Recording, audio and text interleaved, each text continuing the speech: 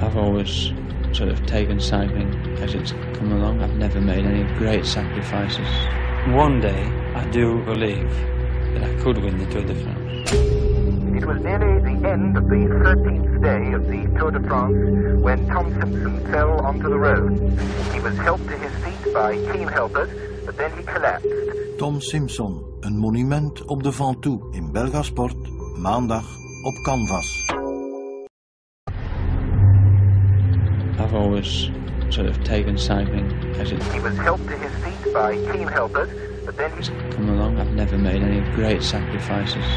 One day, I do believe 13th day of the Tour de France when Tom Simpson fell onto the road.